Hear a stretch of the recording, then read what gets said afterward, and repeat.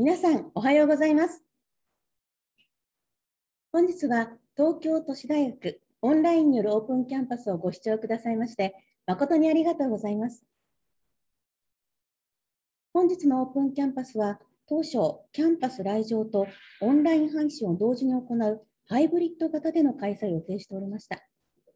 しかしながら、新型コロナウイルス感染症の急激な拡大、第5波と言われる状況を踏まえ、オンラインのみで実施にいたしました。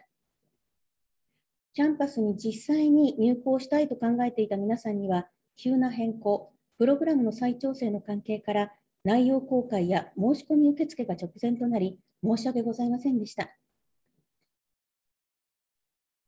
オンラインでの実施でも皆さんのご期待に応えられるよう、本日のために多数のプログラムを用意いたしましたので、どうぞ最後まで充実した時間をお過ごしください。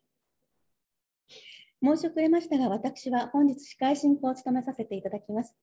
大学院総合理工学研究科建築学領域の高井理恵と申します。どうぞよろしくお願いいたします。さて、プログラム第1部、10時から10時50分まで全体ガイダンスとして大学概要、入試概要の説明を行ってまいります。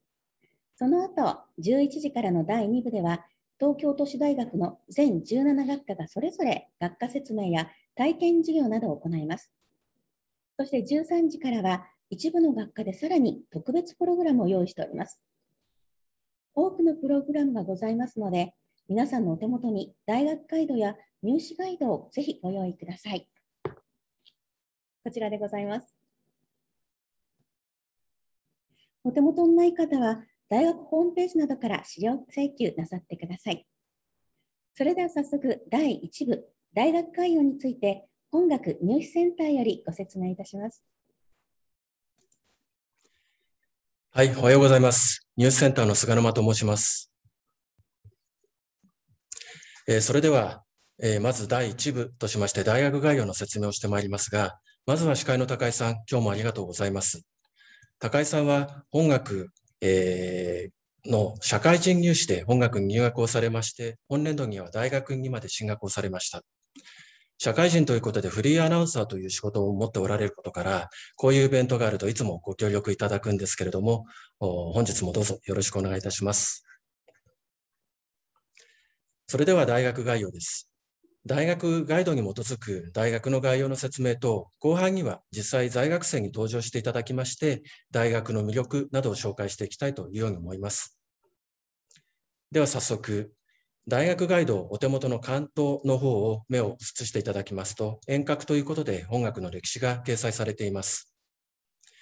簡単にまとめたページになりますけれども、右上、音楽は東急グループである学校法人後藤育英会、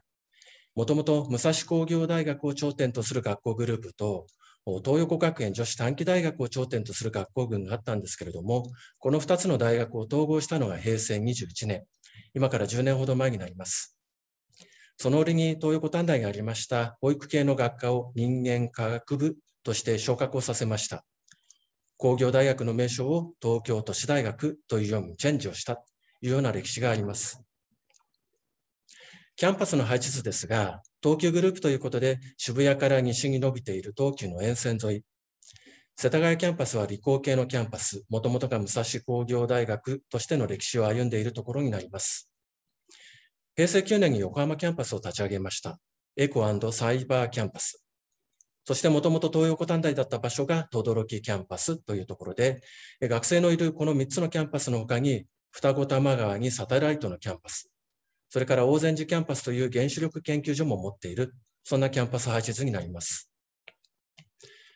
え都市大に変わって何が変わったのか、もちろん文系の学部もできたというところが大きな違いになるわけですが、現在は都市研究の都市大ということで大きな柱、軸として、えこのフレーズを持ってえ各学部が研究、教育の方に携わっております。大学ガイドブックの前半の方では、7つの学部のそれぞれピックアップした領域の研究や教育を紹介するページもありますので、ぜひこちらの方もご覧ください。学部学科は全部で7学部17学科の構成となりました。大学ガイド P37 の方でこちらの概要を確認できますが、理工学部、建築都市デザイン学部、情報工学部。これが世田谷キャンパスにある、まず理工系の学部。環境学部、メディア情報学部。横浜キャンパスにある文理融合の学部です。轟キャンパスにあって、都市生活学部、生活という名前がついていると、火星系なのかなと思われるかもしれませんけれども、まちづくりをテーマにした学科であります。人間科学児童学科が保育系の学科、現在の入学定員は1650名の規模にまでなりました。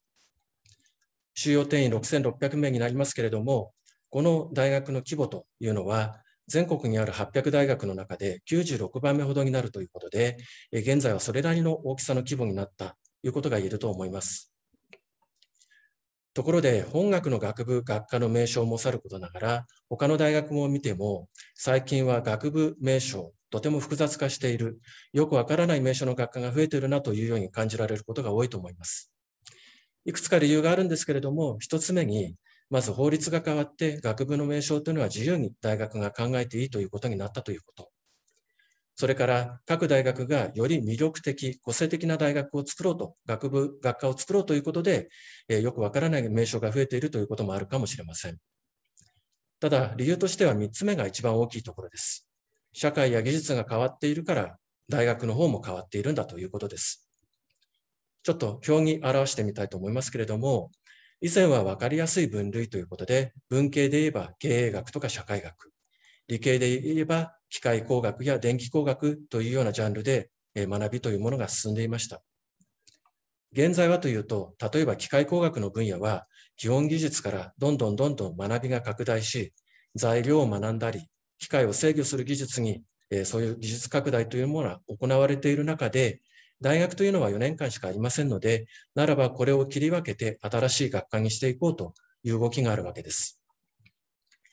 電気の世界というところであっても、例えば通信という世界に広がり、そしてコンピューターという領域に拡大してきました。情報の世界はさらに IT や IoT といったところに技術を拡大し、これを切り分ける新しい学科にするという動きもあるわけです。また、重複領域としてコンピューター付きの機械、例えばロボットのようなところを専門化した新しい学部を立ち上げるという動きもあります。文系の方も今までのような社会学のような概論系の学科ではなく、そこにテーマを与えて、都市の社会、あるいは社会における政策というようにフォーカスをした新しい学科を作る、こういったものをトレンドとしてあります。さらには分離融合、理系の人たちもマネジメントを学んだり、文系の人たちもデータサイエンスを学んだりというような動きが現在の大学の中には、え行われているというような状況があります。また、学びの世界に新しいキーワードとして、グローバル、地域、環境といった学び、これを単体の学部として立ち上げるときもありますし、これらのキーワードは全てに関わってきますので、大学によっては国際機械工学科のような名称を立ち上げるということもあるわけです。これがよくわからない名称の学科の増えているわけだというように言えるかもしれませんけれども、振り返って本学の学部、えー、改めて見てみますと、まず受験生に分かりやすく理系文系というカテゴリーで分けるならば、理工学部、建築都市デザイン学部、情報工学部、こちらはいわゆる同理系の学部になります。一般入試の科目では数3が、えー、絶対必須になるような、そういった形になっていますけれども、えー、学科よく見てみますと、伝統的な機械工学といったものや、アドバンス的な学科、それから本学オリジナリティの高い、スペシャリティの高い学科として、硫黄工学科や原子力安全工学科、武蔵工業大学の DNA を継承し、かつ伝統的な領域から先端的な領域まで現代的に幅広く構成しているのが、まず本学の理工系の学部の特徴です。それから環境学部、メディア情報学部、都市生活学部。こちらは純粋文系の学部ではなく、具体的で社会的なテーマを持っています。環境問題、情報社会、そしてまちづくり。文系プラス理系の分離融合、テーマ型の学科だということが言えるわけです。そして保育系。こちらは東横短大からの継承した文化を持っている。これが本学の17学科の構成だということになります。こちらの表は首都圏の理工系の大学を一覧化したものになります。理系や理学や工学を持っている学科、大学として国立大学で8、公立大学で2、私立大学で38。赤い文字の大学は、大学の名称そのものが、なんとか工業大学やなんとか理科大学のように、えうちは本命として、本業として、理学、工学を中心でやっていきますよというようなタイトルにしているような大学名称になりますけれども、本学、東京都市大学では、東京都市大学は、えー、受験業界においては、現在でも理工系の大学として認知されていることが多いようです。受験業界では偏差値という形で大学をカテゴリー化するいう動きもあります。赤い文字の大学の中では東京理科大学さんが一定の評価があり、本学は東京理工系4大学や東芝電工と呼ばれますけれども、本学と芝浦工業大学さん、東京電機大学さん、工学医大学さんなどを含めた、えー、偏差値帯でいうと50から60のところに位置づいているというのが受験業界の見立てのようです。さて、大学ガイドに戻りますが、大学ガイドの冒頭の方には、キャンパス再整備という本年度最大のトピックスについての紹介があります。世田谷キャンパスが生まれ変わるべき、今、大きな工事を行っていますけれども、この工事計画に関心のある方は、ぜひ、本日11時からのリニューアル計画紹介の方にアクセスしてみてください。具体的に何が変わるという一番大きな動きが、3キャンパス体制から2キャンパス体制になるということです。等々力キャンパスの学生さんは、来年の4月、1年生から4年生まで一気に世田谷キャンパスの方に移転してきます。そのための現在大きな建物を建てているというような動きなんですけれども、これによって何が変わるといった中に、男女比率もキャンパスの状況が変わってくるということが言えると思います。こちらの表、真ん中の表は、日本の全国の大学をすべて集めると人文科学が14%で男性が35%というような表になるんですけれども、真ん中ほどに工学。工学は女性の比率が16%です。そうすると左上で本学世田谷キャンパスが現在17%の女性比率というものは、おおむね全国平均に合致しているということが言えると思います。これが来年から世田谷キャンパス、横浜キャンパスともに、等々力キャンパスの移転により、両方とも3対1ぐらいの男女比率になるということも一つの話題になるかもしれません。さて、大学ガイドの冒頭では、新型コロナに対応して本学がどのような対応を行ってきたのかということについてもページを割いています。本学では特にハイフレックス型の授業というものを展開してまいりました。本学では、えー、感染ステージ対応という本学オリジナルのステージ対応というものを設けておりまして、えステージ4にピンクのところになりますと、すべての科目をオンライン化し、入校を制限するということを行います。しかしながら、できるだけ対面での授業を行うべき。ハイフレックスというのは、リアル対面の授業を教室で行って、それをライブ配信でオンラインでも授業を受けられるような体制でありますけれども、昨年度の場合、本学学年歴を4クォーター制で行っていきますが、完全オンラインで授業を行っていた、入校制限を行ったというのは昨年度は前半期の。そして本年度においても途中、えー、コロナの影響を見て完全オンライン化しましたが、基本的には学びを止めない、え、そういったスタンスが本学の動きであるということについてのご紹介です。大学ガイド冒頭のページの方では、新機能カリキュラム、いくつかある中で SDPBL についても紹介しています。都市大学だけの新しい学び方、これまでの講義、実験、実習といった授業科目に加え、えー、一つの学科の中で行うのではなく、学部を横断したチームを組んで、実社会の問題解決に取り組む。高校生の皆さんが探究という科目をやっているならば、この SDPBL は超探究、複合の科目ということで全学部に導入されている科目です。これが本学の強みでもあり、また新機能カリキュラムとしては、本年度より機械工学科、機械システム工学科、電気電子通信工学科において、ひらめき、こと、もの、人づくりプログラムというものをスタートさせました。こちらの詳細は11時からの特別チャンネルをご覧いただきたいと思いますが、アクティブラーニングという動き、124単位の1つの科目がアクティブラーニングというわけではなく、卒業要件124単位のすべてがアクティブラーニング探究プログラムになっているというように考えると理解が進みやすいかもしれません。このように何ができるかに答える、これが東京都市大学です。現在の受験生の大学選びというものは、どこの大学を出たかから何が大何ができる大学かにシフトしているというふうに言われていますけれども、武蔵工業大学の伝統と文化、都市研究の都市大、さまざまな新機能、カリキュラムを整えている東京都市大学にご期待いただきたいと思います。大学ガイドでは、さらに詳細を確認することができます。教育というキーワード、グローバルというキーワード、本学では東京都市大学オーストラリアプログラムというものを展開しておりまして、470名 ,70 名を超える枠が、えー、規模があるプログラムに現在は成長しました。研究室文化。大学院には約3割が進学をしていきます。資格、各学科の特性に応じた資格があります。就職の都市大と呼ばれます。そして学生生活も大学ガイドの方で確認できますが、現在、大きな規模の大学になったということで、合計111のクラブ活動の団体が揃っています。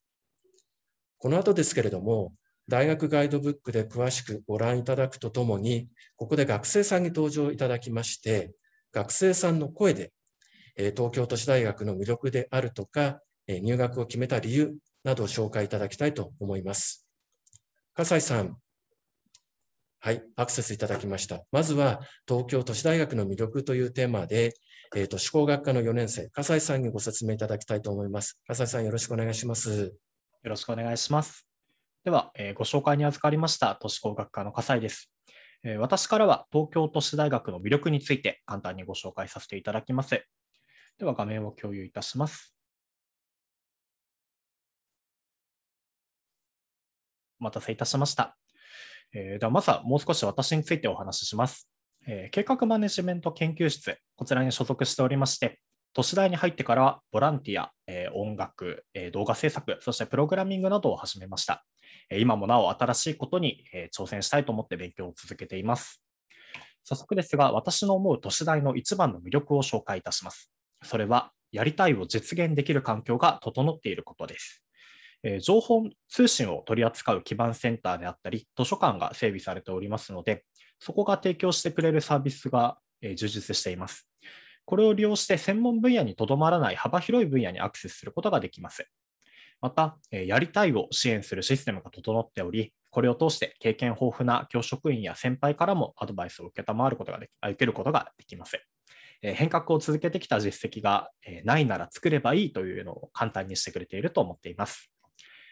ここからは、えー、実は新入生向けのガイダンスで、えー、先輩からのアドバイスとして私が、えー、思っていることをお伝えしたものなんですけれども、え、都市大を希望する皆さんにもぜひ、え、伝えさせていただければと思います。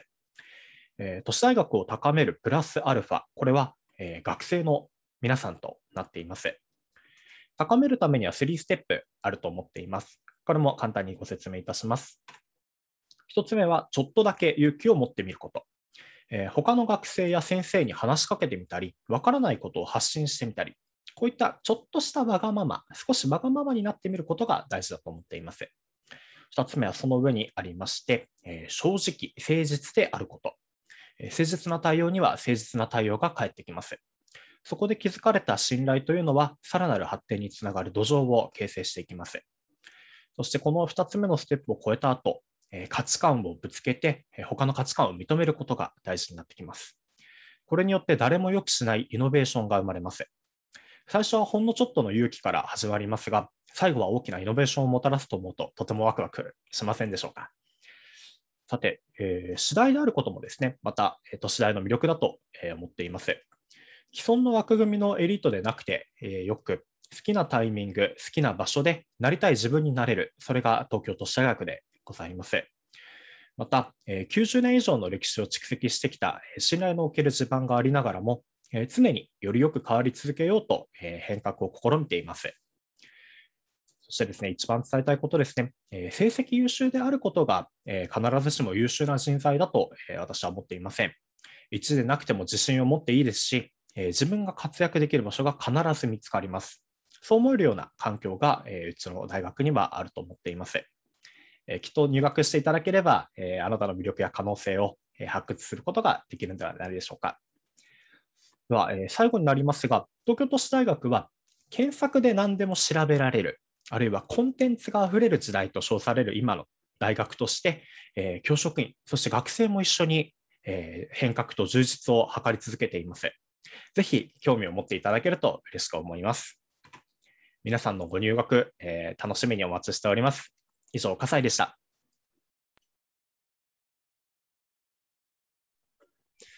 はい、笠井さん、ありがとうございました。あの、非常に頼もしい先輩からのエールとして受験生にも伝わったのではないかと思います。どうもありがとうございました。続いては、横浜キャンパスから社会メディア学科、佐々木健太さんです。えー、なんですが、佐々木健太さんは今日、所要がありまして、こちらにアクセスすることができませんでしたので、あらかじめビデオの方で3分ほどの動画を作っていただきました。これをご視聴いただきたいと思います。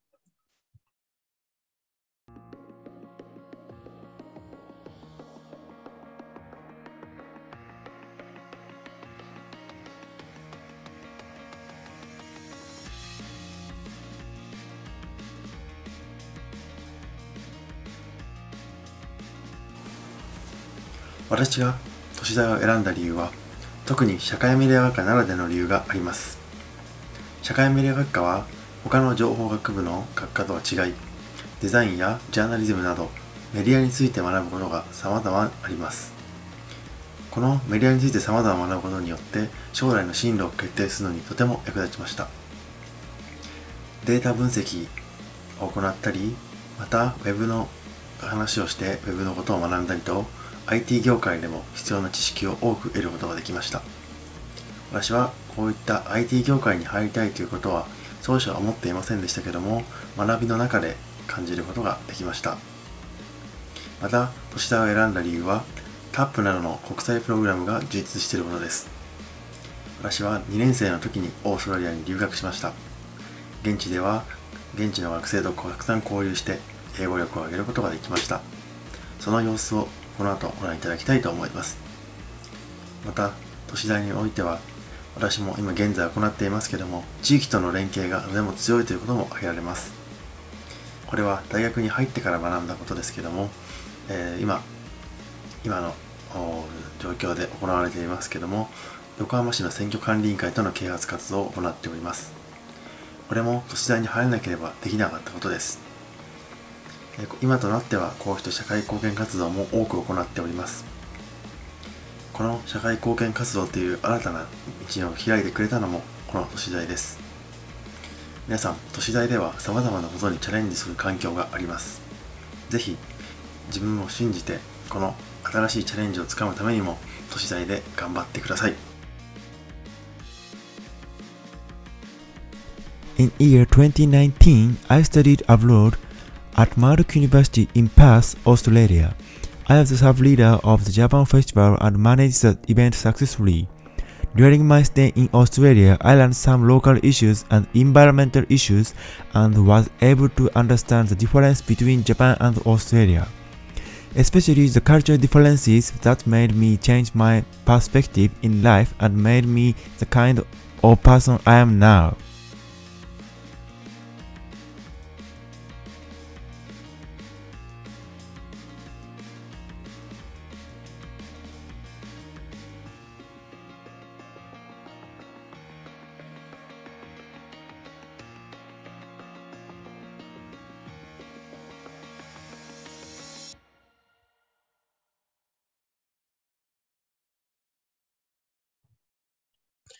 はい、えー、佐々木くんからお届けいただきましたビデオを見ていただきました。えー、今日アクセスできなかったのは、えー、紹介の中にもありましたけれども、佐々木くんは横浜市の選挙管理委員会をサポートする、えー、そういった活動をしておりまして、今日まさに横浜市の市長選ということで、えー、本業の方にあの行ってまいりました。えー。ということで VTR をご覧いただきました。では続いて、轟キャンパスから、えー、都市生活学科の3年生、板倉さんです。北川さん、よろしいでしょうか？はい、ありがとうございます。それでは、私の方から説明させていただきます。はい、私はコロナ禍における学生生活について説明していきたいと思います。まず自己紹介です。私は都市生活学部都市生活学科の3年生になります。この大学に入った理由としては幅広く学びたいを入学志望動機に入学しました。それでは学生生活の3つの場面について説明していきたいと思います。1つ目が授業について、2つ目が課外活動について、そして3つ目がその他についてです。それでは授業について説明していきます。授業はオンライン授業と対面授業の掛け合わせのハイフレックス型となっております。そもそもハイフレックス型とは、教室で対面授業を行っていると同時にオンラインでライブ配信を行っています。これを選ぶのは学生さん自身で選ぶことができます。実際に私の学部では約50%ずつの割合で対面授業の人とオンライン授業の人がいました。私自身はオンラインを選択したのですが、その理由としては通学時間がすごくかかってしまうので、通学時間にかかる時間や空き時間などを有効活用したいと思い、オンライン授業を選択しました。続いて2つ目、研究室活動です。私の研究室は主に Zoom を使っているのですが、その Zoom の機能をフル活用したり、またグループワークも多く実践しているため、オンラインでもとても充実した研究室活動を送っています。続いて、課外活動についてです。そのうちの1つ目、クラブ活動についてですが、コロナ禍でも学生さん自身が工夫して、学外の施設を借りながら実力を落とさないように活動しています。そして2つ目、デラサール大学オンライン英語短期研修プログラムについてですが、ここの最大のポイントは、先生に対して学生さんが少人数で講義を行えるため、私自身、英語のコミュニケーション力がとても上がりました。そして3つ目、ビジネスプランコンテストです。こちらは大学内で行われているビジネスコンテストです。私がこちらに参加した一番大きな理由としては、1ヶ月半という長いメンタリングを通して、自分自身を成長させたいと思い参加しました。その結果、優秀賞を受賞しました。今回の課外活動を通してオンラインでも自分自身が成長できる環境が東京都市大学はとても多いと感じました。3つ目のその他についてです。私はアルバイト、飲食店のラーメン屋さんでバイトをしております。そしてまた、Zoom のこちらのオンラインになったことで、グループワークを通じて新しい友人がむしろ多く増えました。このようにオンラインでも不安はなく、この中でも充実したキャンパスライフを送れています。そして私にとっての最大のトピックスは、2022年の4月に新しい校舎ができるということです。ここは大きなポイントとして2つあり、1つ目が施設が全て最新になるっていうのと、2つ目が理系の学生さんとの学びが増えるっていうので、ここでちょっとしたポイントは、キャンパスの男女比率が変わってくるっていうのも少し気になるところです。コロナ禍でも楽しいキャンパスライフが待っています。以上で発表終わります。ありがとうございました。はい、板倉さん、ありがとうございました。えー、とても明るく、あの爽やかな学生生活をコロナ禍においても送られているなということを感じられました。どうもありがとうございます。大学ガイド、さらなる詳細はということで、学生さんからも紹介いただきましたけれども、細かい内容ということがキーワードごとにまとまっております。ぜひご確認いただければと思います。かなり駆け足になりましたが、まずは第1部の前半、大学概要でありました。はい、ありがとうございました。それではこの後は10時30分より入試概要について説明いたします。引き続きこのチャンネルで行いますので、次の入試概要を視聴される方は、このまましばらくお待ちくださいませ。一度マイページに戻ってアクセスし直す必要はございません。